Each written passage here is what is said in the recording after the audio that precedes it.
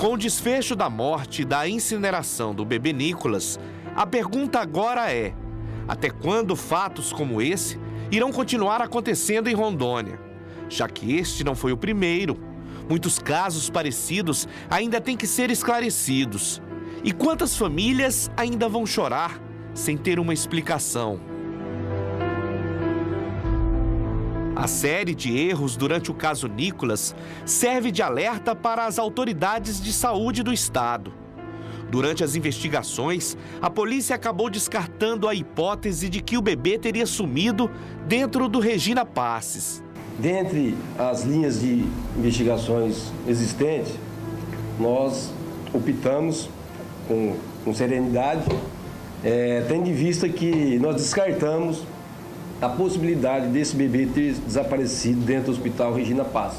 Mas fica a dúvida.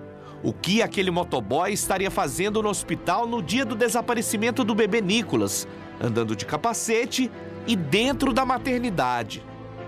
Isso ainda não foi dito pela polícia, o que ficou claro durante a coletiva foi que houve uma sucessão de erros dentro do necrotério do Hospital de Base de Porto Velho. Não havia é, pessoas responsáveis pelo controle de entrada e saída de membros é, abortos, membros amputados, abortos e até mesmo é, pessoas é, defuntos, né, como vamos dizer. E naquele dia, é, o guarda responsável que fica ali responsável pela chave, ele comunicou o, responsável da Amazon Forte para fazer a coleta do material. Como costumeiramente era tudo verbal. Fulano, tem material para ser recolhido.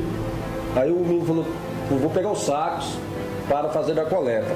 As normas para coleta e retirada de qualquer material, mesmo que sendo lixo hospitalar, não foram seguidos pelos funcionários. Toda tarde faz a, a pesagem, o caminhão baú, existe uma, uma balança apropriada para fazer a pesagem do lixo.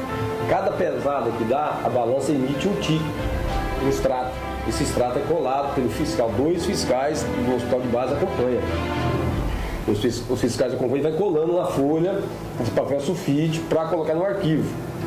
E dessa forma foi, foram feitos. Contudo, contudo, o, o, o saco vermelho não existia. O, a pessoa que o Zé Maria, que é o responsável de fazer a coleta do, desse material, colocou o saco entre os demais sacos e foi embora, misturado com os demais lixos. Durante matéria exibida na TV Candelária, onde um funcionário da empresa de incineração, que na época não quis se identificar, falou claramente de que algo fora dos padrões havia sido incinerado naqueles dias. O motorista tinha falado que era um aborto, mas nós achamos estranho pelo tamanho, pelo peso, né? E eu peguei, comecei a, a, a palpar né, o saco e eu vi que era uma senti que era uma cabeça, senti os bracinhos, senti o corpinho. Dava para perceber que era, um, que era um bebê. Mas todo resíduo que chega lá é para queimar foi colocado para queimar.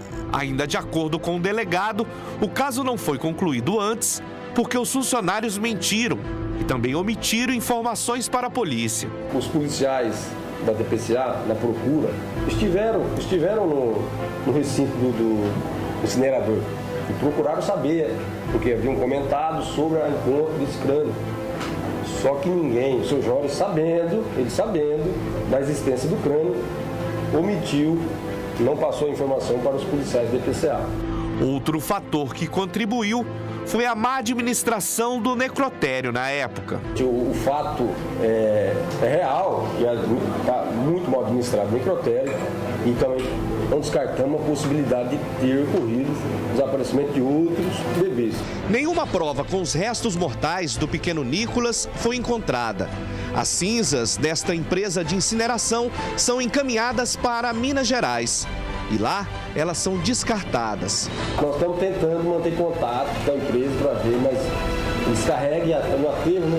É muita coisa no Brasil, tudo vai estar lá. Hoje, passado todo esse tempo, a pergunta de muitas pessoas é uma só. Quantos Nicolas precisarão morrer para que as pessoas se conscientizem que a saúde de Rondônia precisa de socorro.